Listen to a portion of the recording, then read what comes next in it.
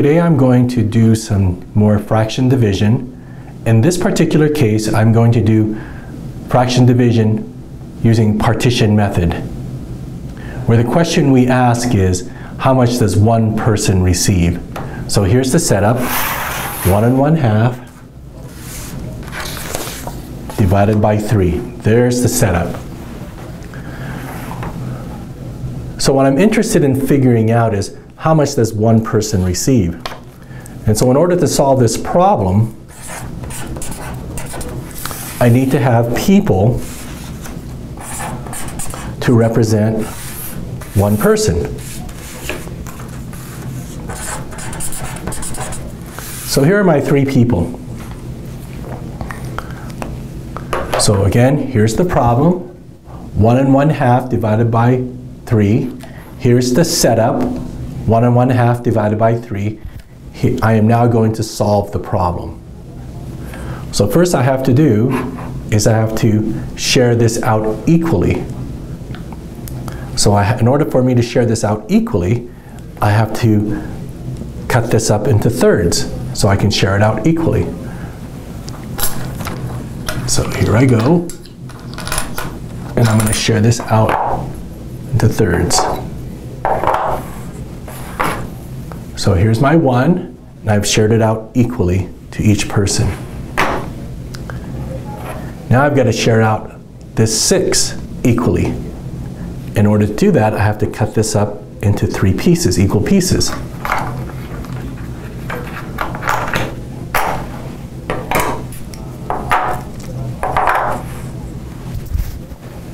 There it is. I have shared it out equally. I have shared out one and one half equally to three people. The answer is what one whole person receives. So I'm only interested in what this whole person receives. So I'm going to get rid of all these others because this is my final answer is here. So my answer is one third and a six is my answer. But I need to simplify that answer. So I have to now add these things together and I can only add like units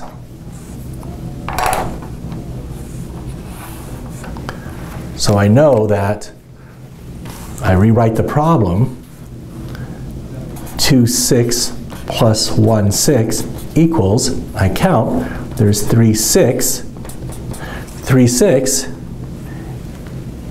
is the same thing as 1 half. So there's my final answer. So 1 and 1 half divided by 3. The setup is over here. I shared it out equally. I found that each person received a third and a sixth.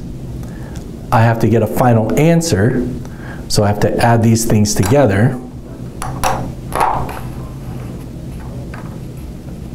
One third is the same thing as 2, 6. 2, 6 plus 1, 6 equals 3, 6. 3, 6 is equivalent to 1 half, and there's my final answer.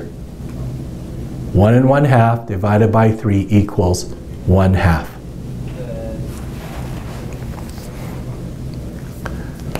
I'm now going to do the same, a similar problem, but this time what's going to happen is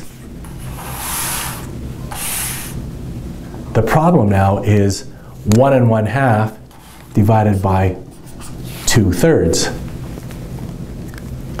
So I put out my setup, 1 and 1 half divided by 2 thirds. The answer again is what one whole person receives. However, it's telling me I need to share this out equally to 2 thirds of a person. So here's my whole person. What I'm interested in is finding out what two-thirds of a person received. So I need to cut this person up into three parts because I'm only interested in what two-thirds of a person received. So if I'm sharing this out to two-thirds of a person, each person is going to each part of a person is going to receive a half.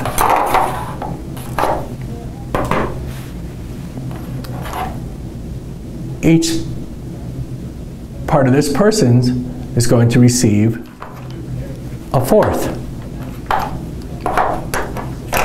There, I shared out the ants, I shared out one and one half to two thirds of a person. But the answer is what one whole person received because I'm doing partition division. I only know what this third of a person received, I know what this third of a person received. This only represents two thirds of a person. So in order for me to get my final answer, I need to know what that mythical third of a person would also receive.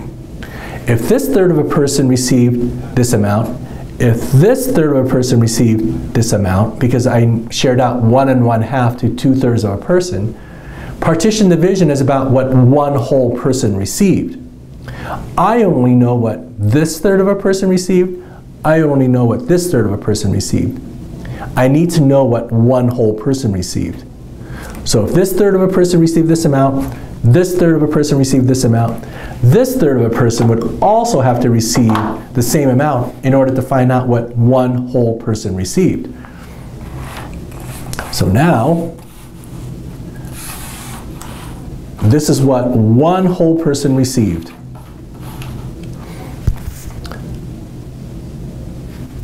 So this one whole person received 3 and halves plus 3 fourths. That's what one whole person received. But I need to get a final answer. So I better start making some exchanges here. Okay, I know that fits perfectly 1. I know that fits one whole perfectly. And now I have a final answer. My final answer is 2 and 1 fourth. 1 and 1 half divided by 2 thirds. I want to know what one whole person received. One whole person received 2 and 1 fourth. So 1 and 1 half divided by 2 thirds equals 2 and 1 fourths. Just for the fun of it, let's do it by the good old rote rule that all of us learned in elementary school, where we had no idea why we did things. So let me do that one here. So in order to solve this problem, I've got to change this into an improper fraction. Then I have to I have to make this into, I have to flip this over, right? Remember we had to flip it and multiply.